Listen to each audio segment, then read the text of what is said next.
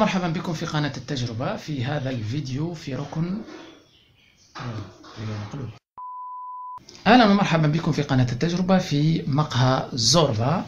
سوف نتعرض في هذه أو في هذا المقهى إلى رواية زوربا اليوناني. الكاتب اليوناني آه، نيغوس كازانساكيس آه، ولد عام 1883 في جزيرة كريت اليونانية. هذا الكاتب اليوناني درس القانون كما درس الفلسفة في باريس وتتلمذ على يد الفيلسوف هنري بيرغسون كان في رحلته في مواقع الثقافة المسيحية اليونانية رفقة شاعر ما إلى أن التقى بزوربا الذي ألهمه في كتابة هذه الرواية العظيمة التي تتجاوز 400 صفحة. الملهم هذه الرواية هو شخصية زوربا. زوربا هي شخصية حقيقية. حيث كان في رحلة عبر مواقع الثقافة المسيحية في اليونان رفقة شاعر ما. هناك التقى بزوربا واستوحى منه أحداث هذه الرواية التي سوف أتحدث عنها الآن. رفضت الكنيسة الأرثوذكسية دفنه في مقابر المسيحيين طبعا للجدل الذي كان يثيره حول الثقافة المسيحية آه، اليونانية. هنا يزور الإشارة أنه كتب على شاهد قبره العبارة التالية التي أوصى هو شخصيا بكتابتها العبارة التالية أنا لا آمل في شيء ولا أخشى شيء أنا حر.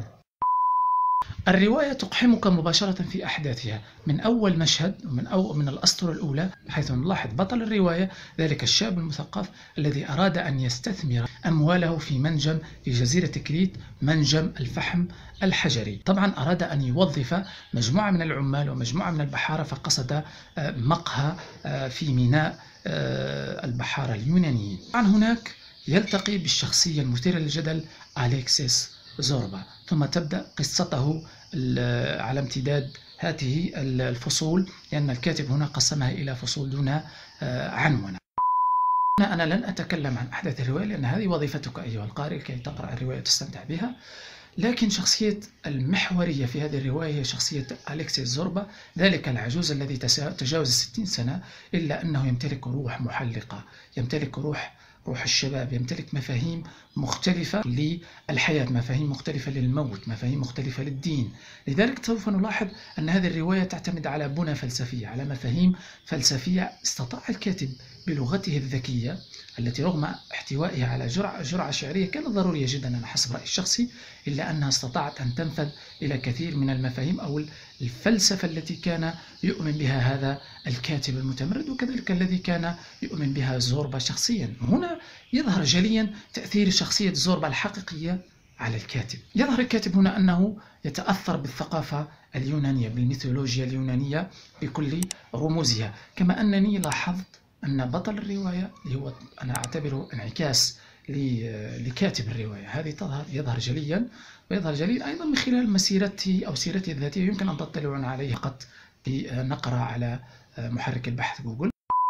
يظهر أيضا تأثر بطل الرواية بشخصية بوذا. لذلك تظهر شخصية بوذا ومقولاته في عدة فصول أو في فصول الرواية المختلفة. ربما قد يكون زوربا أو أليكسا زوربا هي هو النسخة اليونانية لبوذا النسخة المعاكسة التي لم يكن عليها بوذا يوما. هذا ممكن أن نستنتجه كخلاصة لهذه الرواية. طبعا أنصحكم أن تقرؤوها كما أنصحكم أن تشاهدون فيلم زوربا اليوناني برقصته الشهيرة وكذلك بعزفه الجميل على آلة السانتوري. إلى اللقاء في فيديو قادم. لا تنسوا الاشتراك في القناة.